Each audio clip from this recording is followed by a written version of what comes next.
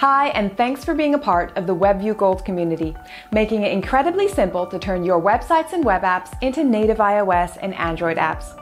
Today we're going to take a look at how easy it is to convert an existing app into native iOS. It doesn't require any coding knowledge. All you need to do is download our app template, insert your website address into it, and WebView Gold takes care of the rest.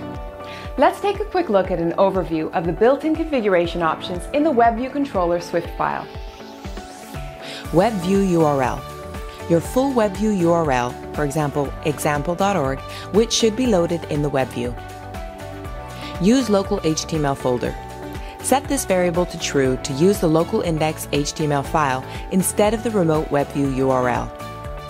Open all external URLs in Safari by default.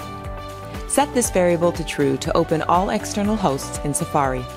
That's recommended for most cases, as such a URL handling will lead to a native app experience. Check out the documentation at the link below to see many more configuration options. Thanks for watching.